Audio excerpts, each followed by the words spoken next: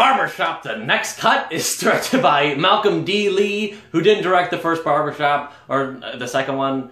Uh, I've never seen any Barbershop movie, and it stars Ice Cube along with Cedric the Entertainer, and Nicki Minaj is thrown in there, and a lot of comedians, JB Smoove, and it's a movie that I wasn't exactly very excited for because I haven't seen any of the Barbershop movies. I don't know these characters, and it's not exactly towards me but I actually sat down to watch this movie and ended up really having a fun time. It, it, wasn't a great movie by any stretch of the imagination, but it was a fun movie to watch. And the thing was, it was a fun movie going experience. So if you're going to see this movie, I, I suggest seeing it opening weekend because with a crowd full of people that are interested in seeing this movie and maybe are have already seen the first ones and know these characters, the people that were in my theater were having a good time with it, and it, it made me have a good time with it, and it made me just go along with some of the jokes and you know sometimes the jokes were like funny but then everybody else was laughing so it makes it funnier you know? So i, I enjoyed watching this movie in the theater.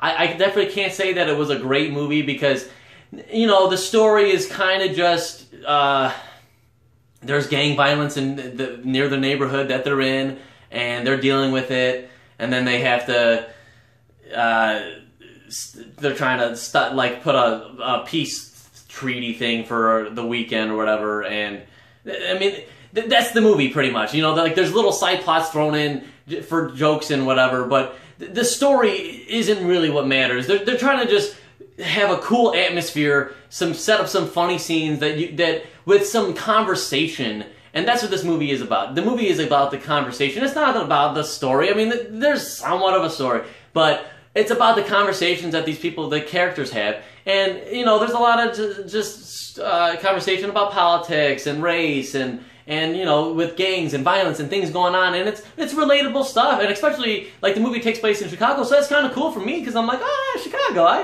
I got it yeah I get it you know so it, it, it was a lot of stuff that is relatable and a lot of stuff that is important for today that they were talking about. And it was just, and they threw a lot of humor in there too, so that it wasn't like just punching you in the face because it definitely has a message that the movie's trying to, to put forth to, you know, stop the violence. And that's a good message, but it doesn't punch you in the face with it. It's not all in your face. It, it has a lot of jokes to it and it shows different sides, and that was cool to see. Uh, the acting is okay. The Nicki Minaj, exactly, especially was, you know, nobody was like blowing me away or anything, but Ice Cube gave a, a fine performance. He was Ice Cube just like in everything else. And, you know, I have no problem with that. The directing I thought was alright. You know, th- there was nothing really all that special about this movie, but it, it, was just a fun movie to watch because of the conversations that they, the, the characters had and the theater that I was with. And it, made it an enjoyable movie going experience. I can't say that it's a great movie because the story is not exactly there, and then some of the side plots, side plots exactly don't, they, they don't really matter,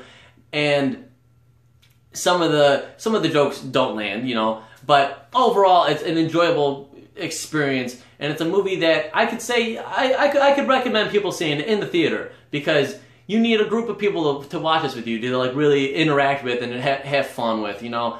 And, and, you know, if you don't see it, if like this isn't like a big deal if you miss it or anything because this isn't like a great movie, like I said. But you know, if you're interested in it, if you've seen the first two or whatever, go see it and you'll have a fun time. Go see it opening weekend because you want to have that theater experience. Anyway, guys, I'm gonna go three out of five for this one. A thumbs up. I, I, I enjoyed myself watching this film, especially because of the people around me.